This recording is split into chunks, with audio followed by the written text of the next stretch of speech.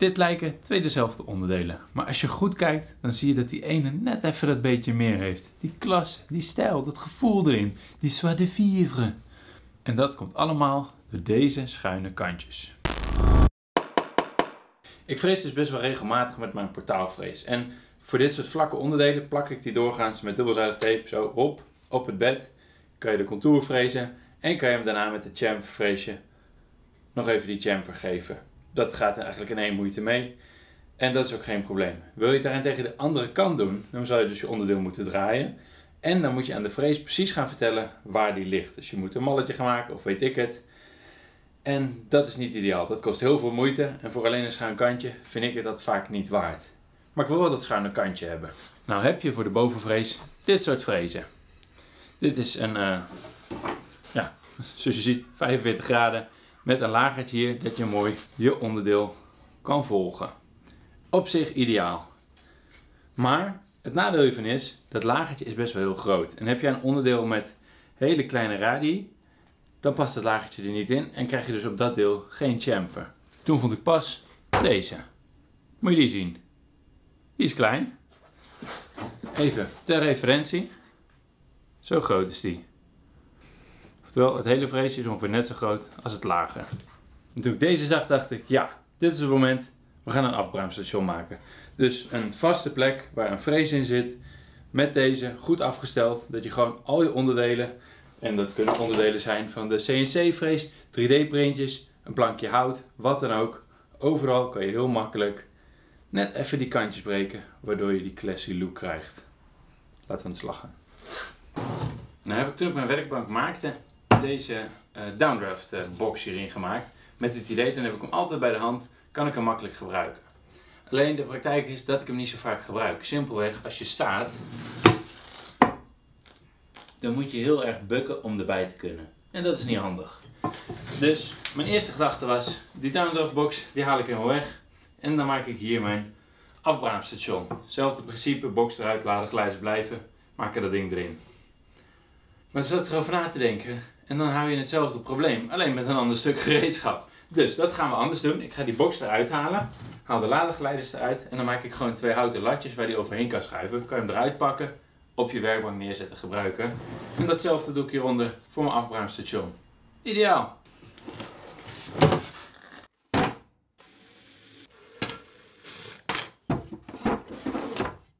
Dan heb ik van een oud project nog wat hout liggen. Hier. Dit kunnen we er prima voor gebruiken. Deze plaat is alleen net even wat breder dan ik nodig heb. Deze is, om precies te zijn, 36 centimeter en 2 mm. En ik ga wel 31 centimeter, dus dan moet een klein randje af. En als ik dat gedaan heb, heb ik dus een mooie strip en kan ik ze allemaal op lengte zagen.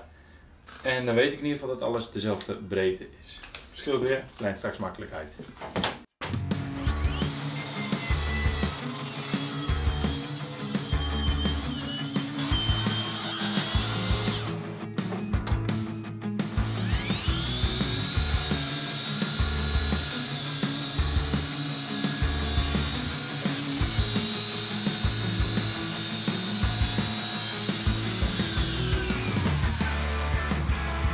Bij de voorkant, daar ga ik een soort van voet van maken. Dus daar moet zo'n eh, vorm uitkomen. Op die manier kan ik gewoon wat makkelijker erbij om de vrees te wisselen en dat soort dingen om hem aan te zetten.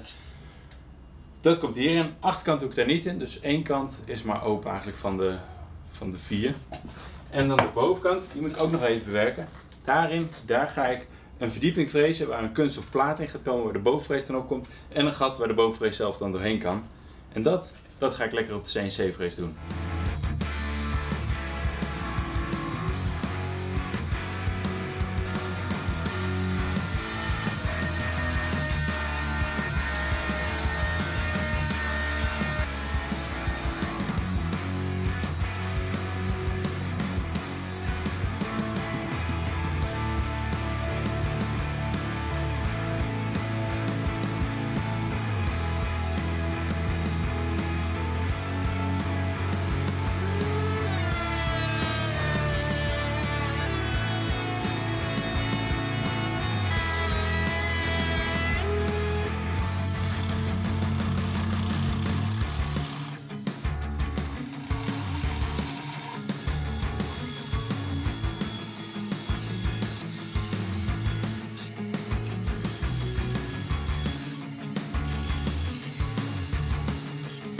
En hier zijn ze dan, de onderdelen. De CNC-freeswerk zit erin.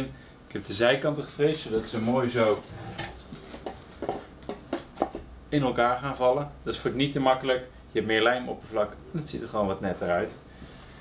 Dus, het is tijd om het in elkaar te gaan zetten.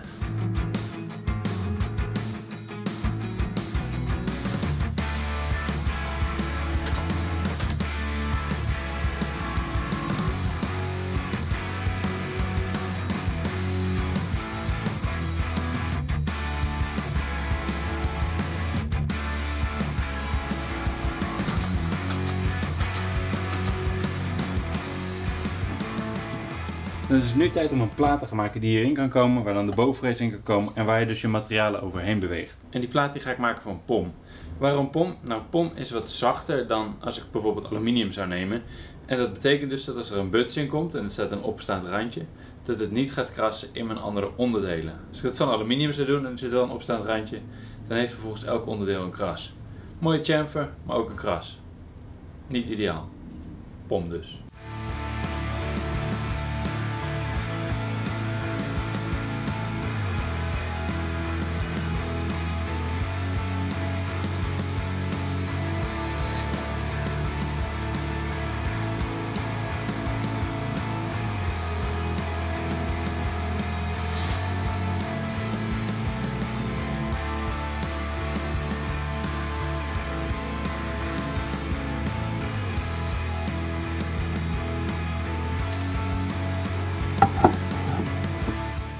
Ik hier nog een gaatje in boren, zodat ik daar gewoon netjes met boutjes vast kan zetten. Die heb ik op de CNC-frees al gemarkeerd, dus dat is makkelijk.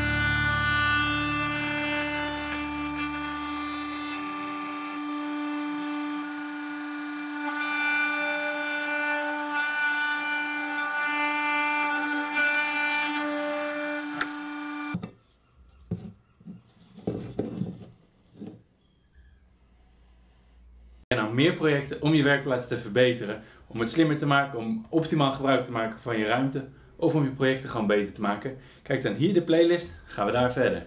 Zie je daar.